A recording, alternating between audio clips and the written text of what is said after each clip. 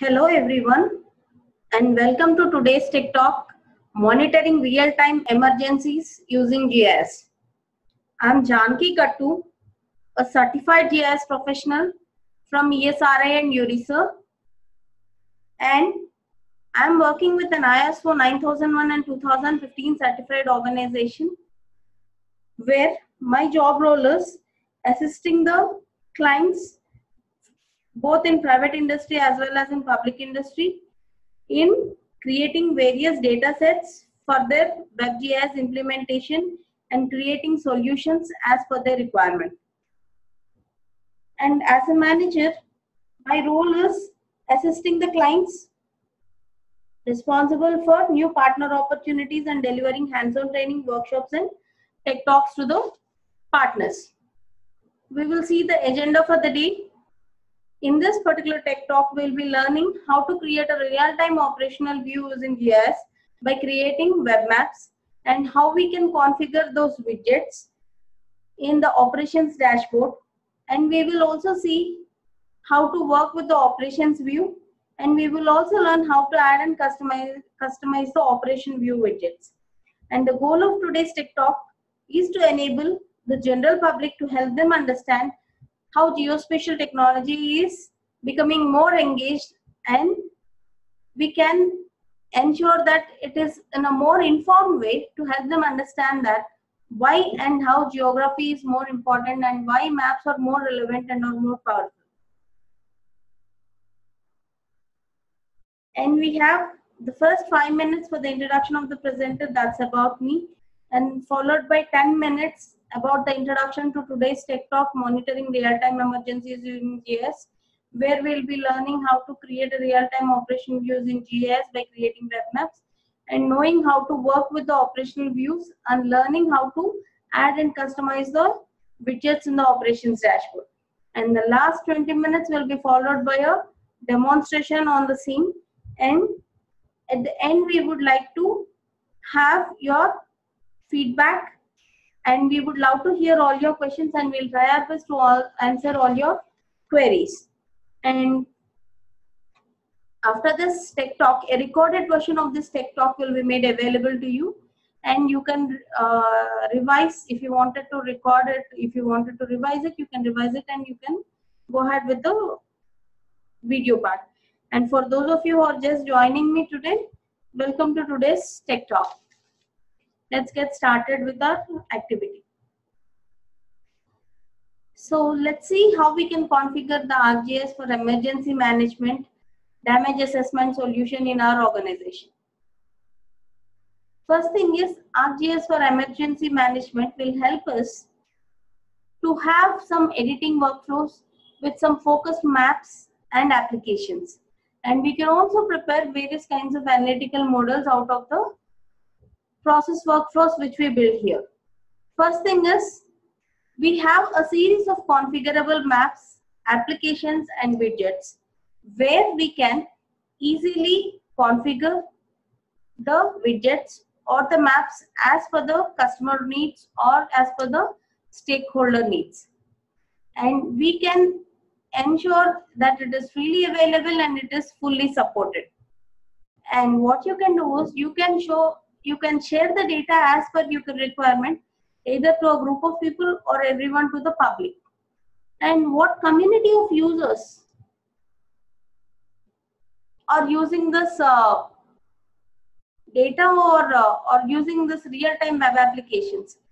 People who are into emergency management especially like wildfire activities or flood uh, to monitor flood proning to assess the droughts on the real time you have you can use this ArcGIS for emergency management solutions and we will see what kind of emergency management team will use GIS for what purpose. So we have something called preparedness.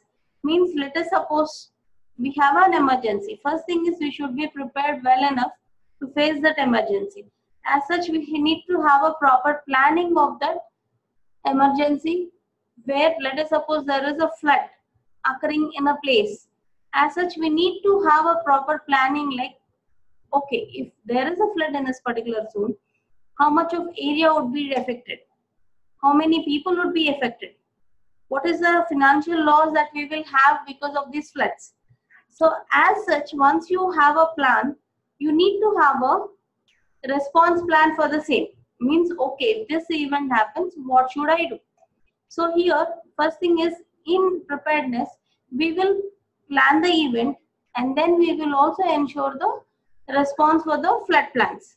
And once we prepare, once we are prepared for that, we need to have an emergency assistance and we will also map the evacuation zones that are nearby to the people in that particular area and we can have as much hazard information as we need and we can also do a lot of aggregation with the data which is available. We can group the data and we can do analysis on the data.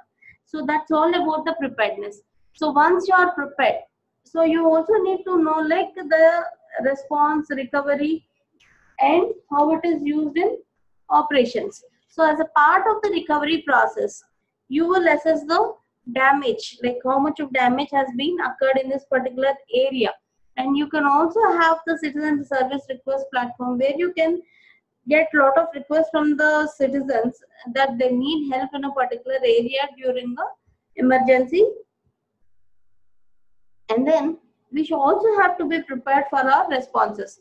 So first thing is we need to have a crowdsourcing application where during an emergency people who have the network can always let us know like what's happening on the real time on the ground what kind of hazard it is? How effective it is? And what is the nearby location that they have to prevent themselves from that particular problem?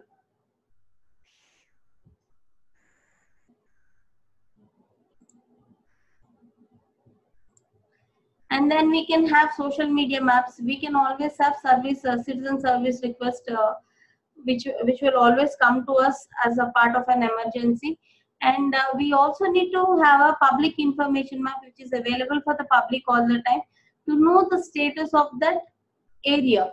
So what kind of effect it has and how many uh, what is the financial loss we have? How many people have been killed in that particular emergency? So we'll be able to have all that particular information. And then we use yes or an or our IT infrastructure to assess the damage, to monitor the damage, to plan for the event. And we also have a lot of data aggregation tools which will help us to understand the real-time scenario. And then we also need to be in the operations where we prepare various kinds of damage assessment, emergency management maps.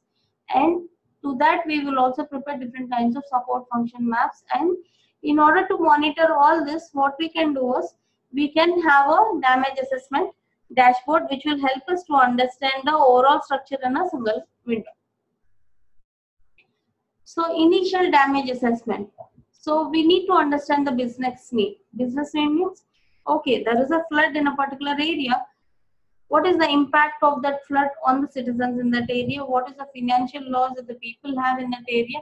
At what magnitude that problem has occurred in that area and what is the kind of severity that is there now? all this kind of business need has to be made initially. Then you need to have some kind of assessment for the problems like how much of time would be is available for you during this emergency. How many people can how many people can you save?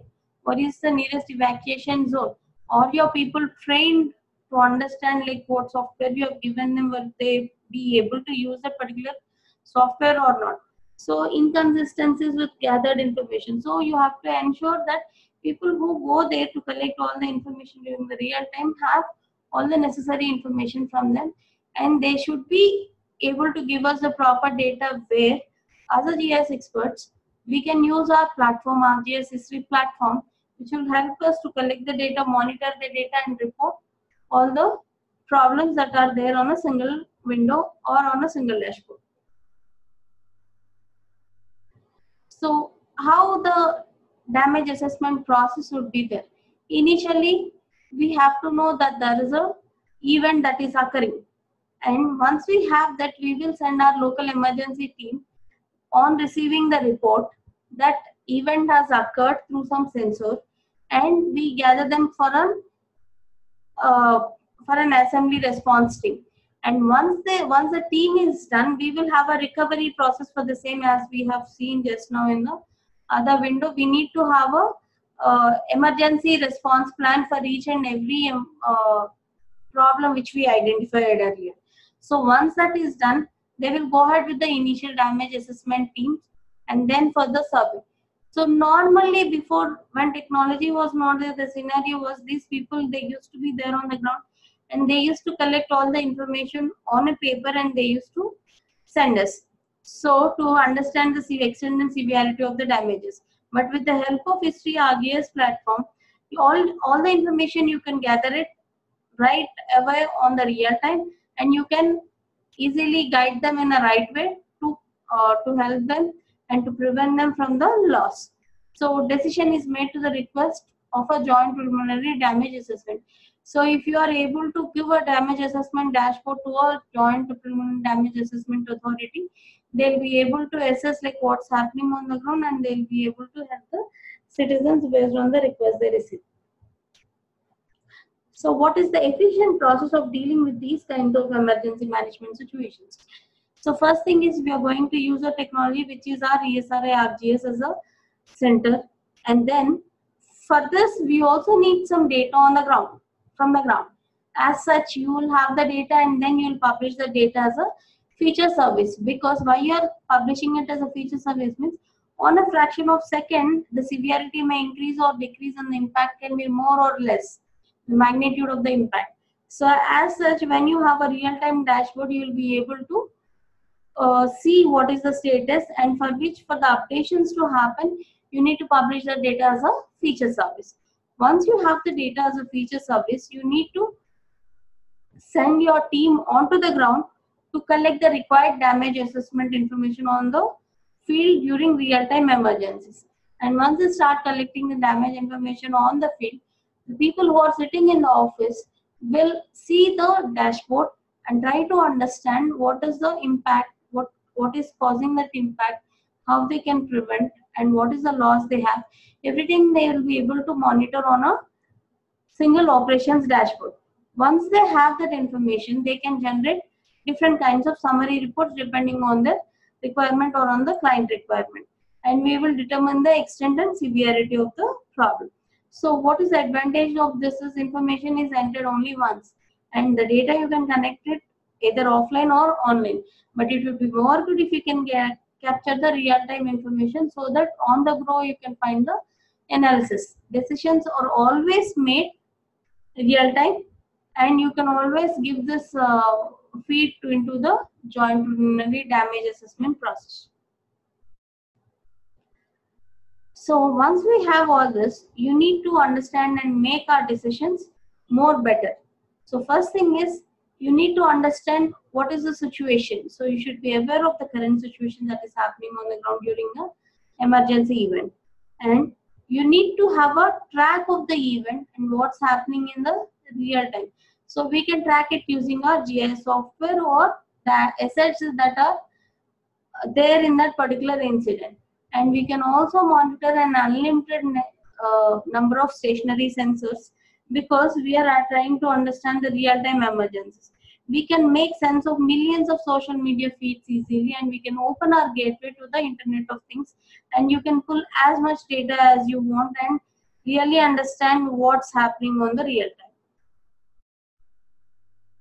So how do you make decisions the moment when something happens? First thing is when a disaster occurs, so every second is very crucial because every second counts for us because there are a lot of lives which are involved in that particular incident. So real-time situational awareness is very important for saving the lives of the people, to protect the people, their property, their assets, their critical resources during an emergency event. That's why our police department, fire departments, emergency departments have GIS as very one has consider GIS as a primary component of all their activities to assess uh, the to predict the emergency, to assess it and to have a recovery plan and then to implement it properly on the real time. So real time GIS capabilities are more during this emergencies. what is that how we can track tens of thousands of assets in motion because you can have a location tracking in uh, web layer in your map where it will help you understand like the people who went there to protect the people during the uh, emergency because we need to have a track of those people also. So we will be able to get the information of a moving person or of a moving uh, vehicle and we'll be able to track where is he going what is he doing and we will be able to track all the assets and he's moving from one place to the other place. This will help us to understand the live location. And we can also make better decisions out of it. Monitor an unlimited number of stationary sensors. Delivering products at optimal freshness or guaranteeing the most reliable service can be a good differentiator for businesses because you have to understand what is the real world and how much of effect is there on the people because of this emergency. So once you understand that, your ESRI, real-time GIS will help you to monitor the data feeds that is coming as an input in the real time from distributed sensors for better customer service. And if you apply the same web map onto a dashboard, operations dashboard, you'll be able to uh, help the decision makers to make really quick decisions based on the magnitude of the impact so as you know like we have different kinds of social media and this from this social media also you can uh, you can publish the data as a service and you can see the real-time updations on your decision dashboard. So as you know like internet of uh, things is really very hot subject these days which will help us to understand like what's happening and what where people are going on so we'll be able to fetch all our information through internet of things where you you will get huge volumes of data and relentless velocity of the data. And the data variability also will be more when you're trying to connect to the internet of things and get more information. This is basically used for large scale projects. Let's go ahead with the demonstration. I have arcgis.com and I have opened my uh, ArcGIS online organizational account. You can see my uh, account here and next to my account there is something called app launcher with nine dots here. So when you click on the app launcher, so whatever the application that are being tagged to your account will be shown here. As such, we are going to work on our operations dashboard, which is based basically a browser-based application. So what we can really work with this operations dashboard is first thing is we'll be able to monitor our assets. We'll be monitor we'll be able to monitor our events activities at a glance for the decision making.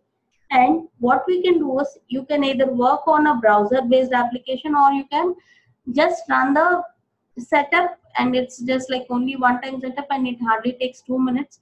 You can open it on a desktop based browser application also and you can configure the widgets as per the requirement but to our understanding we have to know that it is completely integrated with our ArcGIS online organizational account or AGOL platform and then and it is a part of ArcGIS Enterprise 10.6 as well. So what we can do with this operations dashboard is we can enable our key performance indicators and we can also offer ready to use data visualizations on a single dashboard and what are the key usage patterns that we generally have for this uh, operations dashboard is we'll be able to monitor and manage the operations assets the data that is coming from internet of things or the data that is coming as a service from real-time applications. And we can have a we can provide a common operation picture for everything in a single dashboard.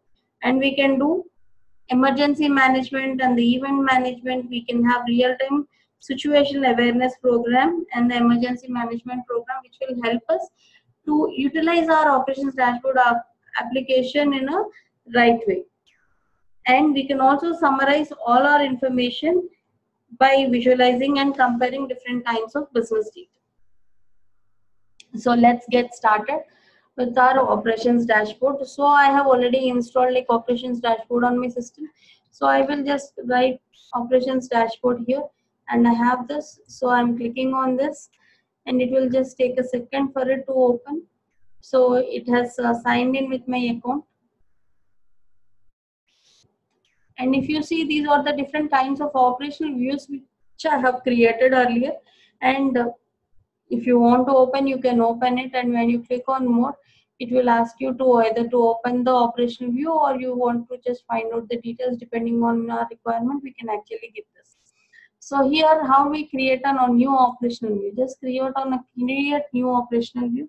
And then we have multi-display operational view and single display operational view. So what is this multi-display operational view? It is basically used by devices with multiple displays on desktop computers, laptops or PCs. And we can have different widgets which are more configurable and depending on the requirement of our stakeholders, we can configure uh, the widgets and we can represent the data in a different varieties of format. And these widgets can be organized separately or they can be embedded into a another widget as well. You can resize and you can position the widget on the operations dashboard. So I'm selecting this multi-display operational view and I'm clicking on create. As and when I click on create, it is asking me what widget would you like to add. So I first thing is I need a map. So this widget will help me to display the content of my web map. So when I click on OK, it will go to my ArcGIS on online organizational account and it will show me all the list of layers. So whatever the data which I would like to have it on my uh, analysis, I can go there and I can click on the data and I can take the data depending on the requirement. So maybe like um, I'm going here or we can search the data here also. Maybe i'm searching like usa data. And depending on our requirement i can add the data here or i can take the data from the groups uh, from the recent one which i have added or i can take the data from the groups which i have created earlier. So let's go to the recent. So i have a real-time weather map application which i have demonstrated earlier to you. So i will select this real-time weather application and click on open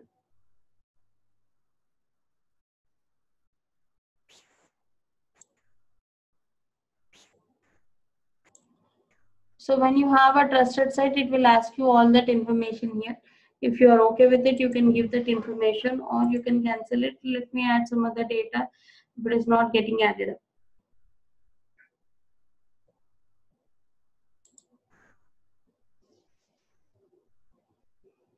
So depending on our requirement, I can add like what kind of data sources do I need to have. So I want like relative humidity, I want like pressure, I want like air temperature so i want this meter current temperature. So depending on the requirement i can have add this. And i can also choose my capabilities what capabilities do i exactly need so as i'm displaying web i need to select features and maybe i need to uh, have a zoom in uh, zooming tool within that i want to find out the direction. So i can enable all this uh, check boxes depending on the requirement and if you want to configure also you can click on here and you can uh, do the configurations as well and click on ok and wait for the system to load your data. So this is how my system has downloaded uh, loaded the data. This is basically a real-time weather application which we have for us and when i zoom to the data it is showing me a lot of other information real-time uh, real-time weather map information and if I have to configure I can click on here and again I'll get the same kind of window where I can use it. If I want me to select something then I can enable this or else no. So depending on your requirement you can do it. Now I would like to do some analysis. I would like to do the widget configurations or not. So what I'll do is I'll go to this uh, widget. I'm clicking on add widget and maybe I would like to add a legend. So if you want to give a real-time weather map and click on OK. Now it will load all the information that is there. So I can uh, dock it to the site depending on our requirement. So if I want to configure, I can configure this information. Click on OK click here If I want to zoom out, I can zoom out and I can show you the information here. And maybe I want to add some more information. So again, I'm going to this add widget and then I'm clicking on this add widget and I would like to have a histogram for the same. So here, maybe I want to see like what is 2010 population and instead of 5 maybe like I will have like 10 intervals. So I'll be able to get all this information. And just if you want the access to be changed or if you want the appearance to be changed maybe I'm not looking not feeling like it's so good. So you can actually change that information depending on your requirement. And if you want all these actions to be taken you can take all these actions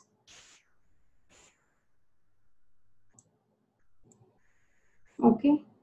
And you can just click on ok so now the data is popped up. So if you want to dock the data you can dock the data within the map or you can dock the data within the legend. This is what i was telling you like you can configure the widgets. Now again i'm going here. I'm clicking on widgets.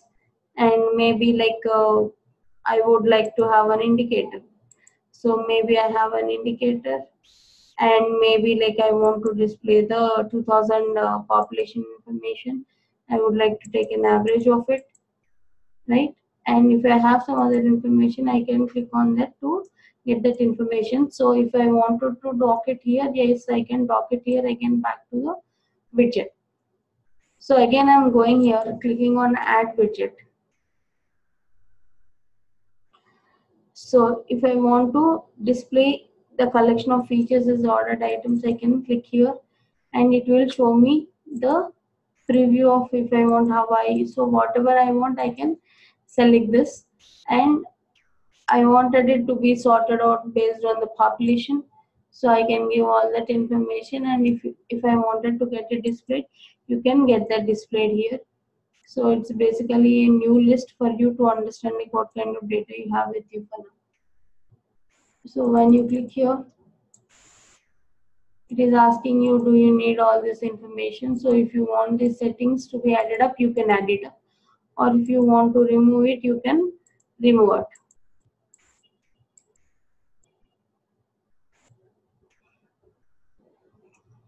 Can you see here my map is having different kinds of uh, base maps. So as such, if I want to turn this to a imagery map, yes, you can turn that. And if you want to bookmark different places, yes, you can bookmark your places. And we will be able to filter the information also if required.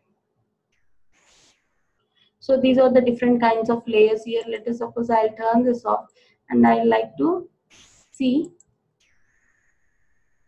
the pressure in USA. Can you see the pressure has been popped up and the pressure buoys has been popped up and maybe I would like to uh, see, uh, okay, let's have this um, information.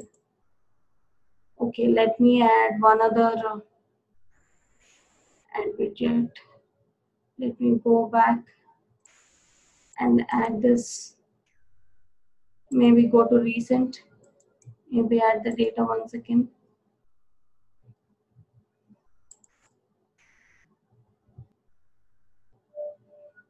So we need to wait for the data to be loaded because it comes from a different server altogether. So sometimes it takes a bit time. So we need to wait for the system to load the data for us. So let the map load the information here. And then we'll configure uh, the relative humidity in this map because on the earlier map I have just enabled pressure here. So and you if you see here in this map this is showing the pressure areas completely to the east and the pressure is very less on the left side of USA. So I'm clicking on layers and maybe I want to work with air temperature so I can click on like air temperature and it will show me all the required information as such like if I want to uh, have some information about this, I can go to widget, click on add widget. Maybe I would like to have a bar chart. I can click on this I can uh, sort the label the field based on the population of 2000 or maybe I would like to give it based on the state name and I would like to mark this axis display labels and the colors if I want I can make it or I can make the columns on a different color for now. And then the feature actions if you want to enable you enable this for now. And I am enabling this for my quick reference because all the time I need not go anywhere and just click on OK. So you have this uh, widget which is showing you the pressure. So maybe I'll put it here. So maybe I can no I'll click here I'll go to configure. And instead of new bar chart let me give it as a pressure real-time pressure in overall USA right? So we can give that information. And if you want to give a brief description of it you can give a brief description of it and just click on okay so now I have the real-time pressure information and maybe I can remove this if I want like I can I can dock it elsewhere also. So I can get it here and I'm docking it here within this uh, information.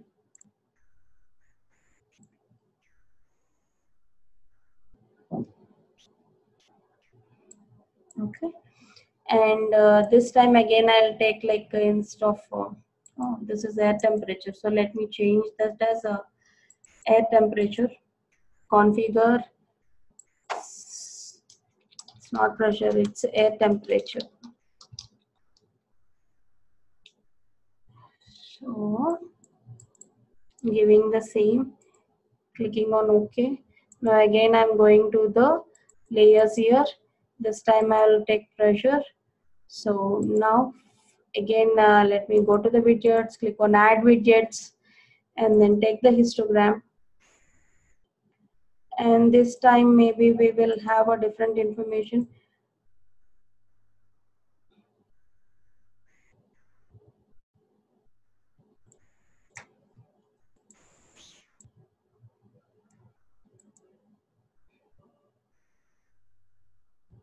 We have this pie chart and I would like to uh, see like uh, what is 2000 population and 2010 population and how it has to appear maybe I'll give a different colored symbology and I would like to have the labels for this. And uh, maybe I will give the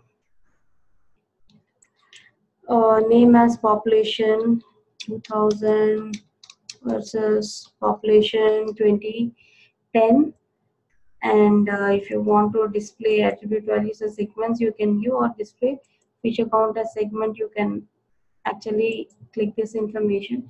And once it gets popped up maybe you can dock it here.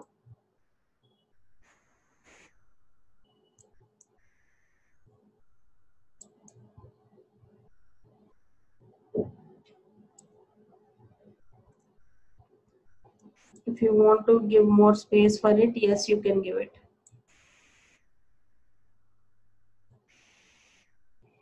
Okay so this is so now uh, maybe I would like to see the relative humidity of the same. Yes I have relative humidity here. And I'll go to add widget and I'll click here.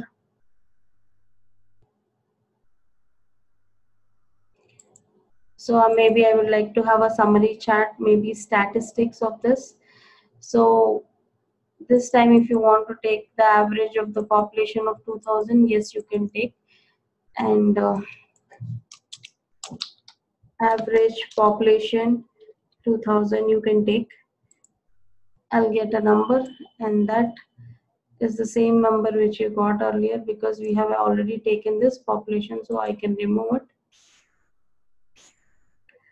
Click on the add widget. Maybe I'm going to take an indicator and maybe like this can be 2010 information and acceptable color maybe I we can choose a different color. Unacceptable color yeah let it be in red. And uh, instead of average uh, maybe i'm taking the maximum population in 2010 so i have that information. I can keep it here. Click on configure. Maximum population in 2010 click on ok. Again i'm going here. Click on add widget. So maybe i would like to have some uh, feature details. Click on this. I can have all this information. And i can uh, if i want i can enable all these capabilities. Feature details of real time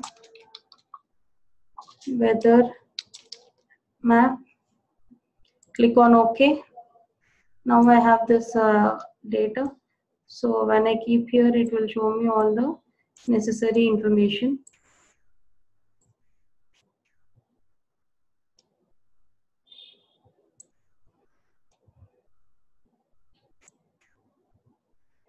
I can also dock this back here.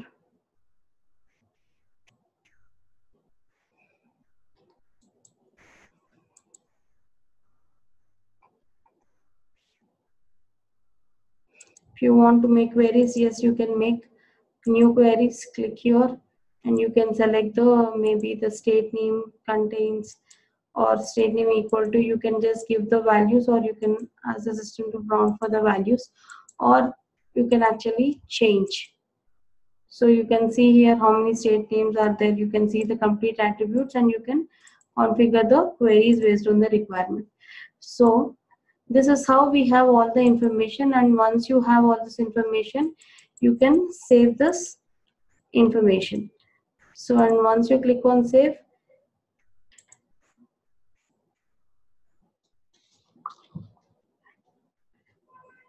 so the application would be saved as a web browser.